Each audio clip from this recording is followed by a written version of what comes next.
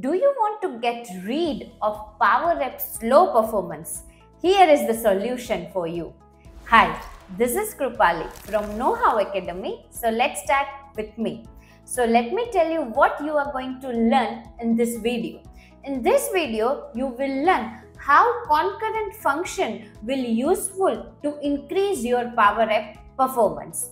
Let me explain you with the scenario. So here I am using employee dataset to load this entire data into the collection as well as I am also using this expense dataset to load the data into the PowerApp into the different collection based on some condition. So how I did this? So I have designed one screen. In that screen here I am using one button and using this button I am loading this data into the different collection name. And same for the second button but what's the difference between them? Here in first table I am executing all instruction sequentially. That is one by one. And on the second button I am using a concurrent function to execute this instruction. So let's run this and show you the difference now here when I click on the load data, it will take 715 milliseconds to load the entire data into the collection.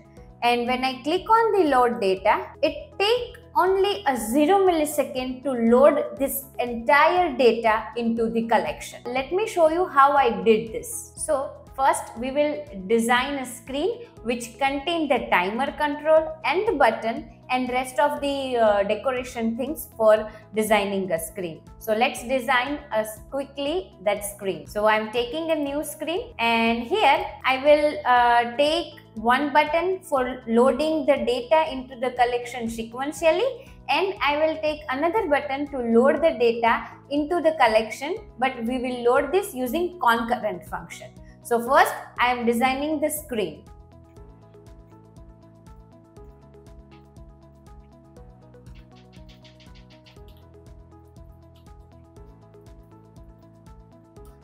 Okay, so I design a heading. So second, first label for sequential.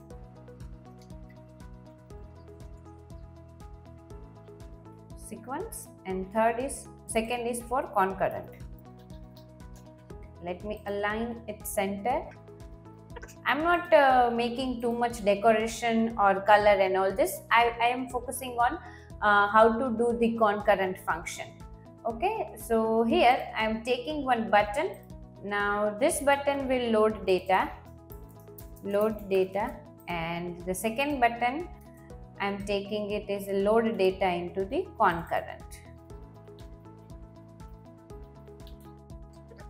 Now here I want to get to know that how much time it, it is taking. Okay, so for that I am taking one timer control for this sequential and second timer control for concurrent. Okay, and let me give the timer 1 and timer this is timer 2 okay? We can say that. Okay. Now what i will do i will take one uh, text label to display the milliseconds or how much time it is taking. Okay?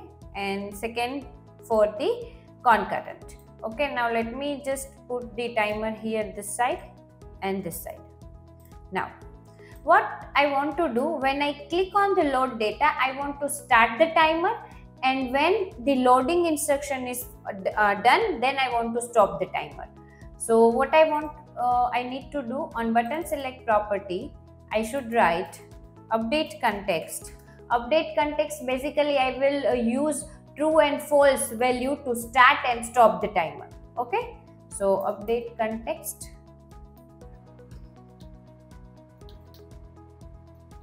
True.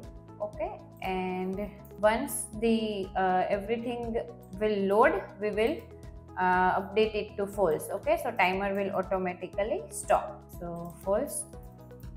False. Now don't worry. I will write the instruction between true and false.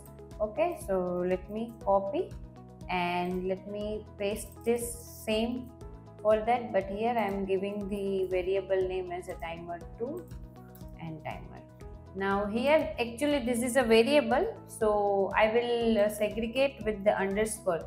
Otherwise you know it will understand the control name. Okay? So timer underscore 1 now what I will do I will load this entire data using different condition into a different collection. And also I will load this ex daily expense table data and employee table data into the collection using different condition. Okay so here I already write an instruction uh, to load the data. Actually I am uh, loading data based on some different condition. So let me copy this and go to that and click on that and write it between the that okay so in x y a b c d different collection i'm loading the employee data based on some different condition. And then i'm setting up the timer value false. Okay so you know after the instruction will execute timer will stop automatically. And before that uh, also i'm resetting the timer value. Okay so let me just reset the timer value. So reset timer 1 and then okay. now the next thing is what i want to do. I want to display how much time that uh, that is taken. Okay so let me just uh, click on that. And here what i want to write i want to write the time in millisecond also. Okay you can display time in second also. It's your choice. So let me show you how i did this okay so this way you can write it. So let me copy and um, where is that? Here. In the text property you should write timer one value and then you need to write this. This will convert your time into milliseconds. Okay that is uh, millisecond second time hour. Okay this way it will convert. Okay so this way you can convert that time into the millisecond. Now let's save it and let's just start execute it. Okay now see now see it's taking nothing. Let me check it whether the data is loaded or not. Okay so here you know data is loaded into that but you know time is not showing. Why? Because in timer we need to set the start property so, you know, start property where it is, let me just search it here. In start property, by default, it is false. So, timer is not started when I click on that. So, you know, when I click on the uh, button, you know, I am just creating one variable timer underscore one and I am setting it that value true. Why? Because whenever I click on that, I want to start the timer okay so on a, a, timer start property you need to write timer underscore 1 okay so this variable contain true or false value. Okay so once it is true so timer will start automatically. And once we once the all the instruction is executed timer will stop automatically. Why? Because we have set the value false. Okay so let me just execute it again. Now you can see it took C 602 millisecond to execute this data or it will take 602 millisecond to load the data into the collection. Okay. Now let me show you the collection. So I have created that much collection. Okay.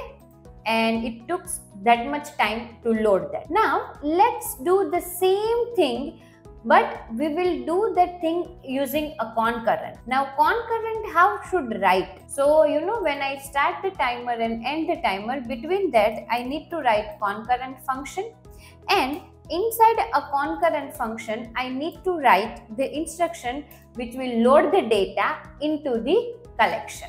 Okay. Now this is a sample demo. You can write any of the instruction in, in the concurrent execution. But remember, whatever instruction you are writing inside a concurrent execution, that instruction should not be relatable with each other.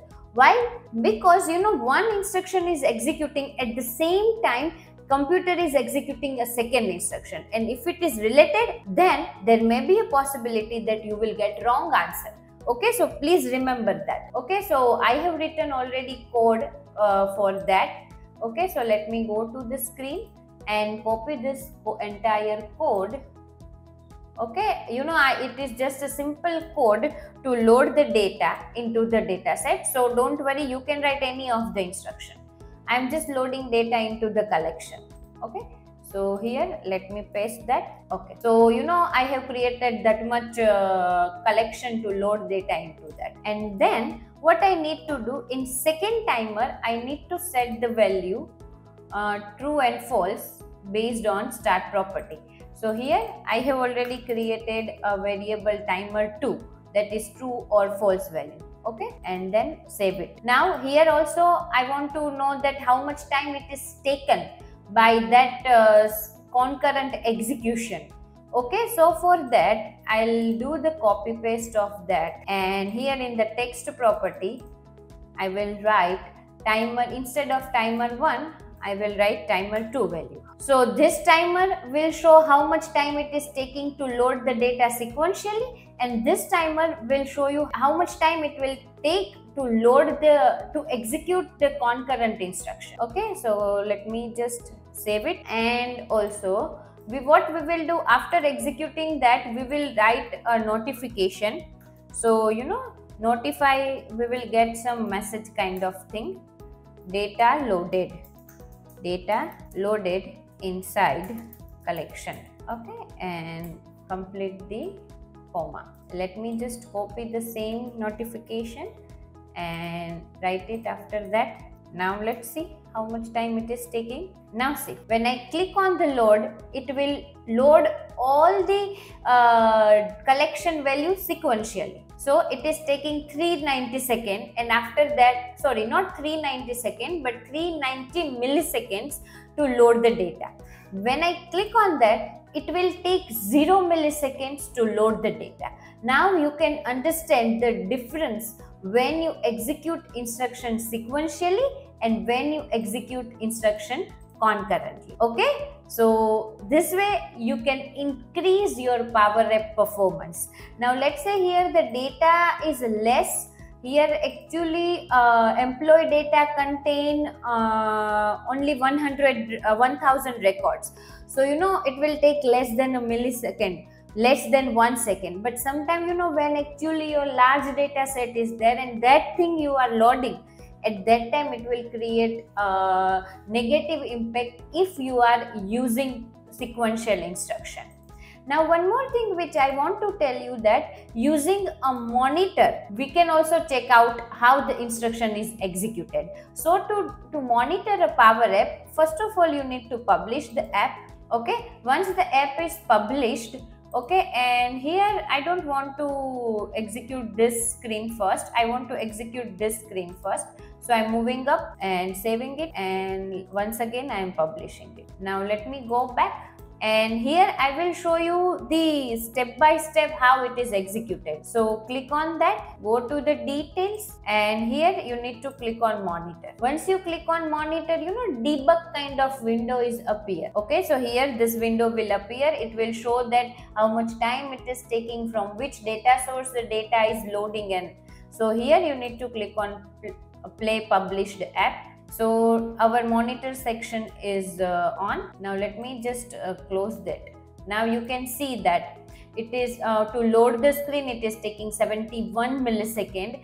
To start the app it took 2 millisecond. And to navigate that particular screen it took 200 millisecond. Now let me click on that. Okay so here it took 901 millisecond. Now you may have a question that you know previously it took some 360 milliseconds and now it is taking 901 millisecond. That is depending on the server. Okay, you know sometimes server took more time to execute because you know traffic is there. Now let me go back to monitor and here you can see that that sequentially all the instructions are executed and that where the data is loaded here in this different collection data is loaded you know it start with the time let's say 16.16 then 529 and it took that much time to complete it okay so here you can see that 901 millisecond now when I click on load data, it took only 201 millisecond. When I when you go there, you know you can see that. Initially when you execute the instruction sequentially, first it will completely load 984 row into the collection X then 6 row into the collection Y and so on. But here you can see that here first it will load the 8 row into the collection F, then 93 row into collection B and so on. Okay, so it will decide uh, by its own that which uh, instruction I, I should execute first. So you can see that here it took only 201 millisecond and here it took 901 millisecond. So always use concurrent function to execute the instruction which is not relevant with each other. And you can check it out in that monitor section also. I hope you get an idea how to use concurrent function in PowerApp to increase the PowerApp performance. Thank you for choosing KnowHow Academy as a source of your IT knowledge. We are always here to help you to navigate to the tech world. If you have any question, do not feel hesitate to reach out us. Stay curious and keep learning.